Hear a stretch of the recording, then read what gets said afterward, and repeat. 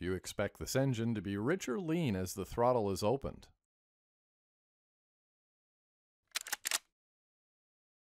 The oxygen sensor generates low voltage based on the amount of oxygen in the exhaust. It generates up to about 200 millivolts for lean exhaust conditions,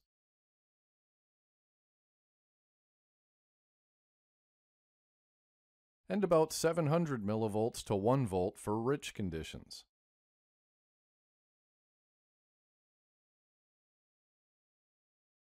Voltage seen above 1 volt, such as 1.015, indicates the oxygen sensor is inactive and cannot be used for feedback.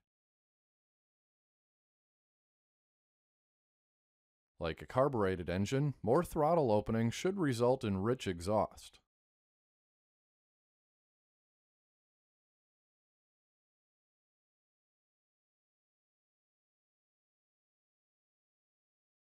And less throttle opening should result in more lean exhaust.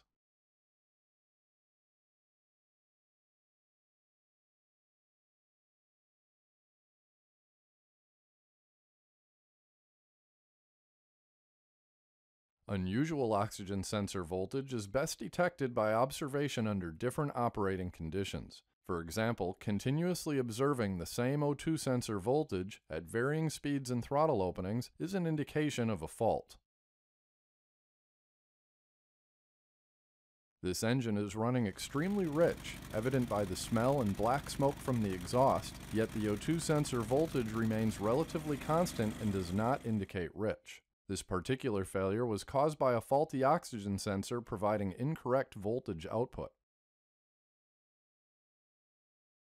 In this example, lean O2 voltage is seen at varying speeds and throttle openings. Fuel pressure was tested and found to be less than 20 psi. This engine was running lean due to low fuel pressure and oxygen sensor voltage accurately identified this.